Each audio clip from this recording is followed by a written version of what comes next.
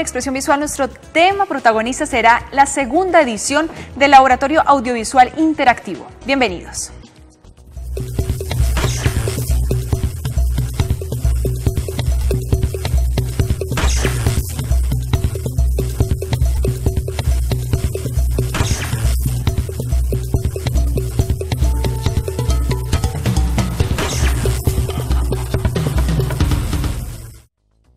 En Expresión Visual me acompaña Ángela Gómez, ella es la directora general de Volart, quien nos va a hablar precisamente de toda esta segunda edición del Laboratorio Audiovisual Interactivo y nos va a hacer esa invitación. Bienvenida, Ángela. Muchas gracias, Jessica, por la invitación. Bueno, me gustaría que empecemos contándole a los estudiantes qué es precisamente este laboratorio y en qué consiste. El Laboratorio Audiovisual Interactivo está enfocado a las narrativas interactivas y al transmedia, a las nuevas formas de contar historias como el storytelling, todo lo que es el documental interactivo, como la parte transmedia, otras plataformas, otros medios, de otra manera como de, contar historias no lineales, no secuenciales, ¿no? Entonces, eh, todo lo que es la narrativa y las nuevas tecnologías digitales. Bueno, este laboratorio pretende ser una cosa muy diferente a lo que son los festivales y a lo que estamos acostumbrados. Cuéntanos precisamente cuáles son, digamos, esas diferencias para que los realizadores y obviamente el público en general se animen. Claro, el laboratorio está enfocado netamente a, una, a un desarrollo de piezas prototipo durante los seis días que dura el laboratorio, netamente práctico. Entonces, en eso digamos que nos diferenciamos a lo que es un festival, ¿ya? porque el laboratorio está enfocado es a precisamente traer expertos internacionales que desarrollen eh, o que asesoren a los participantes en el desarrollo de sus piezas prototipo. Entonces este año contamos con tres invitados internacionales, nos acompañará eh, otro invitado, digamos, pero en un evento alterno a los seis días que vamos a tener.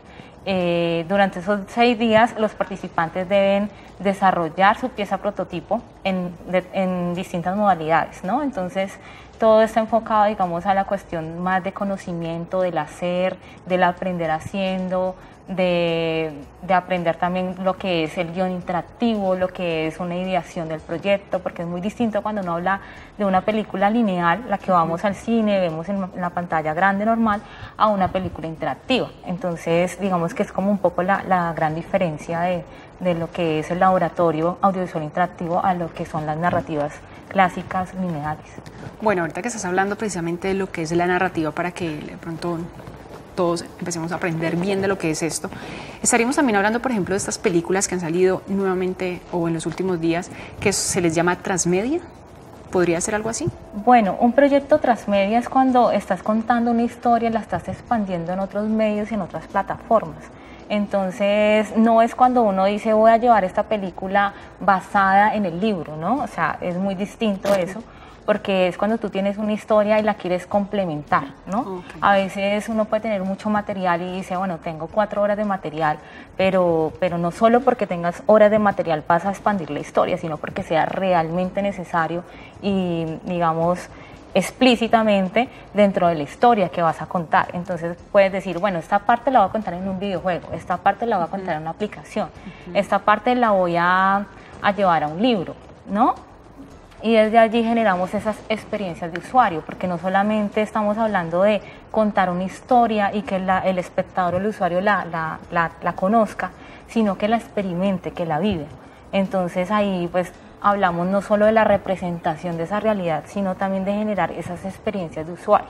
Pues digamos mi experiencia más mm, ha sido en la realización de documentales interactivos y cuando hablamos de documentales interactivos estamos pensando también en que el espectador no solo sea el que está viviendo la película, sino que está ah, eh, tomando decisiones y está haciendo cosas.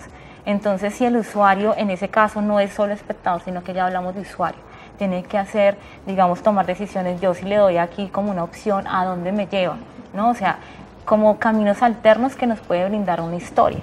Entonces el personaje puede tener distintos caminos para, tomar de rumbo y la película puede tener también distintos finales.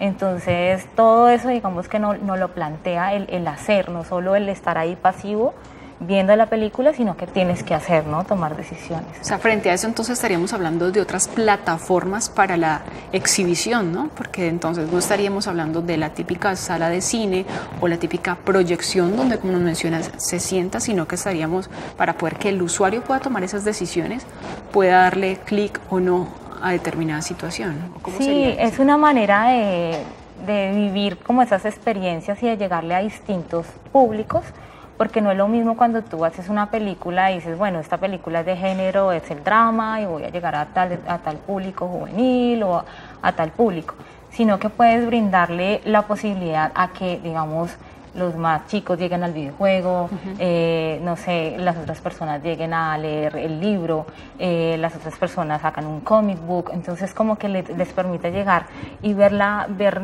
digamos, la película también como en otras posibilidades de tener otros productos adicionales, por así decirlo, que permitan expandir esa historia y que lógicamente pues permitan como que otro, otro público pueda conocer esa historia desde otro punto de vista, desde otra plataforma, desde otro medio.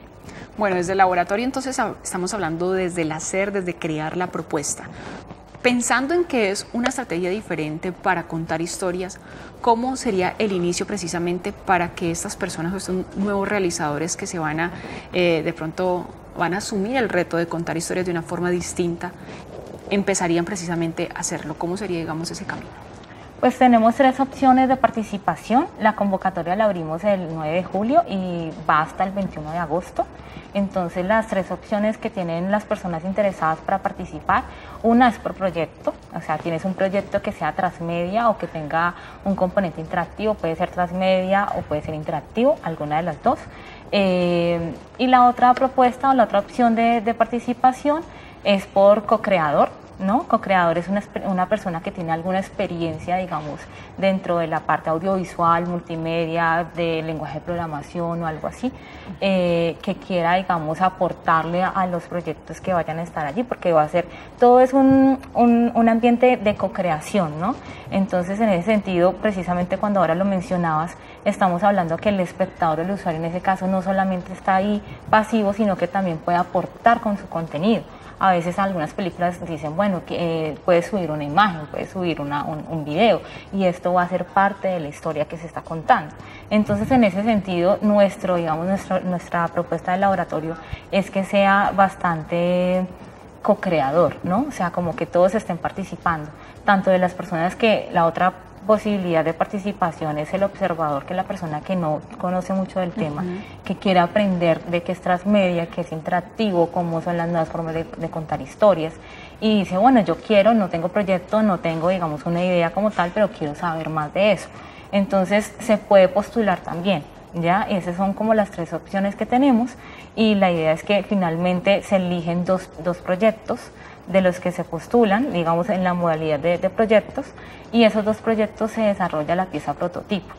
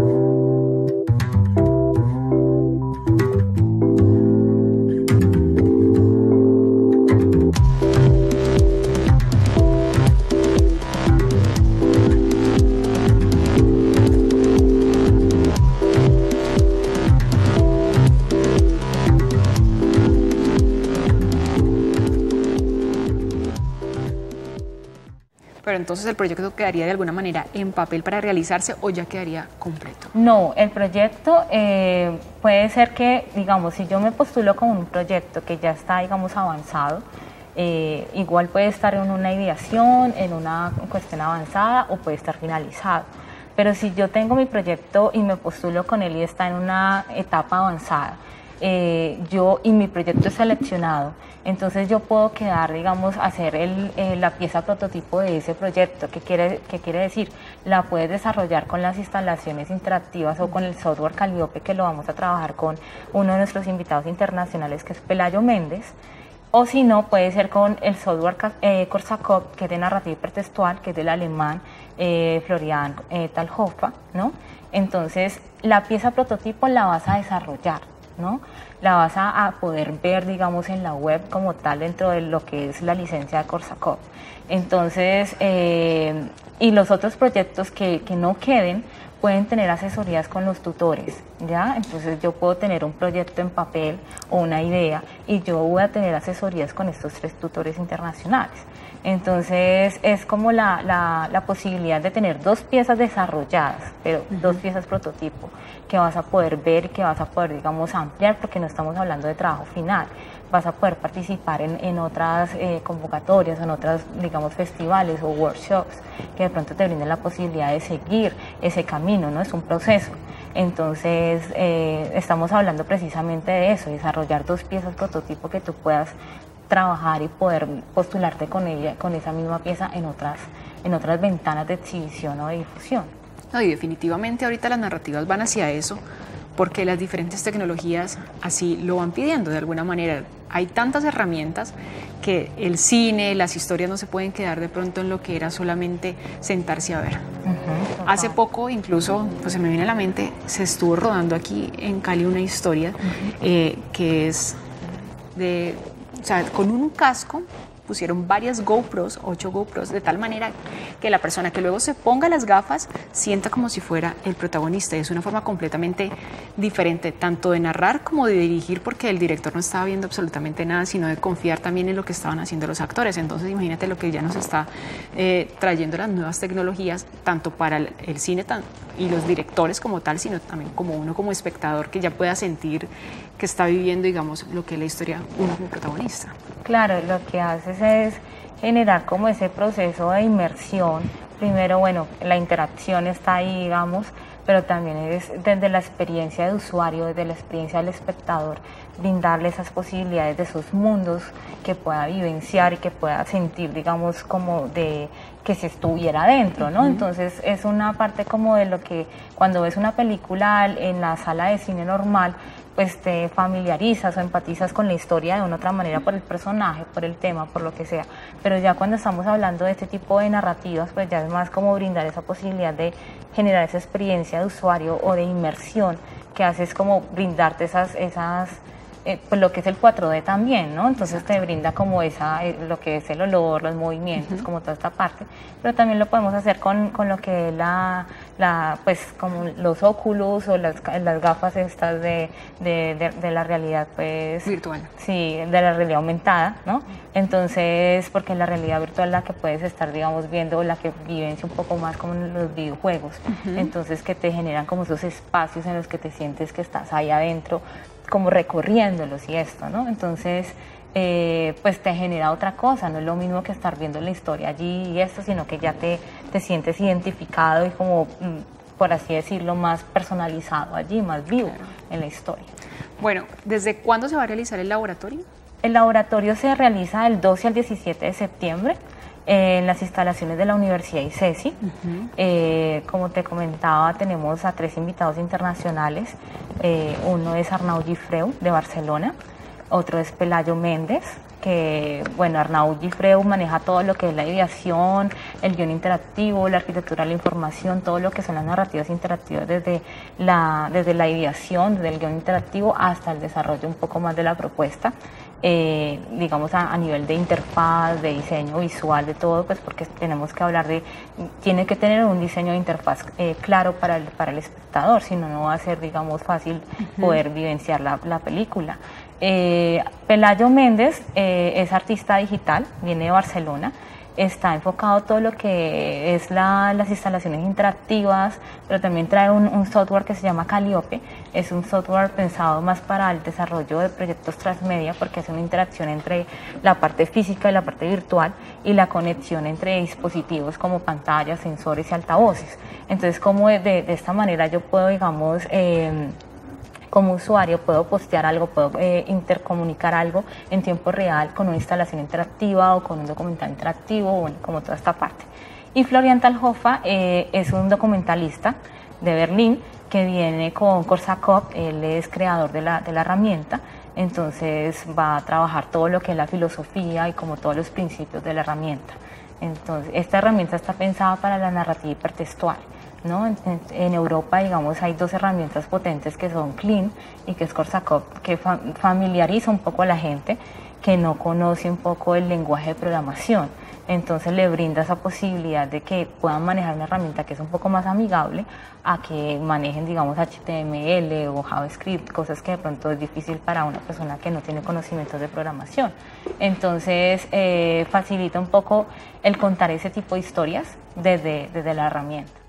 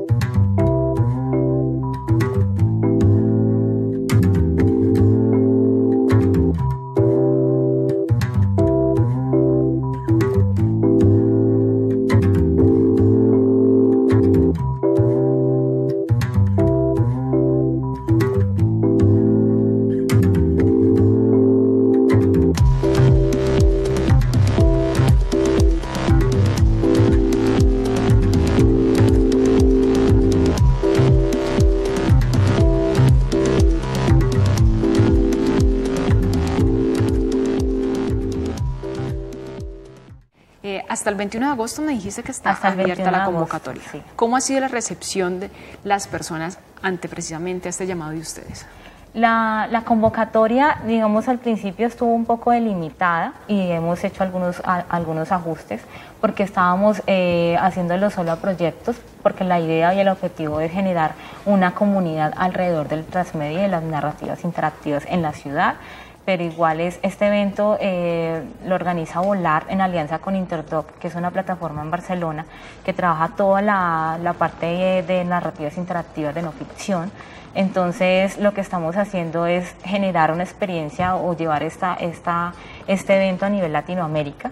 Entonces hemos tenido alguna recepción de, de personas de Argentina, de México, eh, pero también pues tenemos también difusión en, en España, también desde desde Radio, Radio Televisión Española, lo que es el MIT y el, y el IDOX. Entonces, ahora lo que, lo que estamos buscando es que así sea la persona, porque había mucha gente que decía, bueno, yo no tengo proyecto, pero estoy interesado, quiero conocer, no conozco el tema. Y como que en la primera fase no estuvo como tan integrado, entonces ahora lo que estamos haciendo es abrirle las puertas a las personas que no conocen de, de este tipo de temáticas para que se involucren y conozcan y tengan como la oportunidad de, de, participar en el desarrollo de la pieza prototipo al tiempo que están aprendiendo de lo que es el transmedia y las narrativas interactivas. Entonces, así no tengan proyecto, se deben inscribir. Sí, tenemos como te decía tres eh, opciones de participación. Una es con proyecto, otra es como co-creador, es decir, tienes experiencia en, en, audiovisual, en multimedia o algo, de esa manera te puedes postular también. Eh, o de pronto tienes conocimientos del lenguaje en programación, entonces dices, pues yo tengo ese conocimiento, puedo participar en ese proyecto. Eh, y también puedes participar si tú no tienes ni proyecto ni tienes conocimiento, digamos, como tal de narrativas interactivas o transmedia, solo que estás interesado en aprender más. Entonces, esa, esa posibilidad la tenemos como observador. Igual tú vas a participar en el desarrollo de las piezas prototipo. Y seguramente para una próxima edición ya podrá tener su proyecto después de adquirir todo este conocimiento. Total, claro que sí. Estamos hablando de una segunda edición. ¿Cómo fue la experiencia con la primera que de alguna manera también le abrió puertas a nuevas alianzas, me imagino, a tener ya mayores conocimientos, a poder traer eh, nuevos invitados? Bueno, la primera edición eh, fue muy distinta, ¿no? En principio porque hacer un evento de, de, este tipo, de este nivel, pues lógicamente genera, es muy costoso. Eh, traer invitados internacionales, como toda la logística, todo esto. Entonces la primera edición trajimos a trajimos solo un chico que se llama Simón, no me acuerdo su apellido, pero eh, es de Huntington Films, una productora en París, en Francia y ellos venían con Clean, que es la otra herramienta que te comentaba, que Ajá. se llama, pues es el software de narrativa hipertextual. Entonces ellos, eh, pues él vino como para explicar un poco el manejo de esta herramienta. Se hizo también en las instalaciones de la Universidad ICESI, eh, pero fue muy, digamos, a los estudiantes en ese entonces. Ahora lo que hacemos es abrir el evento a, digamos, a, nivel nacional o a nivel Latinoamérica para que las personas interesadas pues, se postulen y participen de esta experiencia que contamos con tres invitados internacionales, internacionales perdón, dentro del evento y tenemos posiblemente la posibilidad de tener pues, a, Bruno Viana, que es un evento alterno que tenemos eh, alterno a los seis días que dura el laboratorio. Bueno, entonces, ¿dónde pueden encontrar las personas más información para que no se vayan a perder la convocatoria que está abierta hasta el 21 de agosto? No se vayan a perder esos días de lo que va a ser el laboratorio, los que queden inscritos, obviamente que estén ahí muy pendientes de eso y obviamente los eventos alternos. Claro, la información toda la pueden encontrar en nuestra página web www.volarproductora.com y en la fanpage en Facebook que se, se escribe Volar Productora en mayúscula. Entonces allí tenemos toda la, convocatoria, toda la información, digamos, de, cómo participar y eh, pues todo también en nuestros medios aliados como el Clavo y el Zarzo que han estado, digamos, también publicando y van a estar publicando nuestras, nuestras pues, nuestros posts y también todo lo que son las universidades. Entonces, eh, desde ya, digamos, estamos desde hace rato, venimos eh, con, medios y esto, estuvimos en la semana del BAM en Bogotá también, entonces, pues esperamos tener una, una acogida y poder, digamos, eh, abrir un poco ese, ese, ese espectro aquí en, en la ciudad, ¿no? Que a veces, pues no hay tanto conocimiento digamos, a nivel profesional de lo que son las narrativas interactivas y la parte transmedia.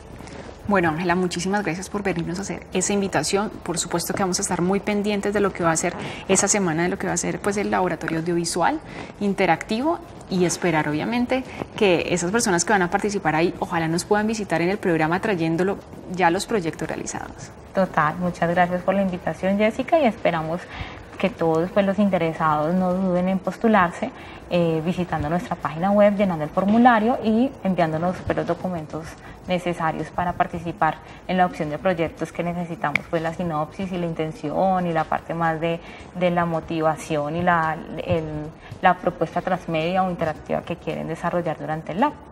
Bueno, no, de nuevo Ángela, muchísimas gracias, bienvenida siempre a Expresión Visual. Muchas gracias, Jessica.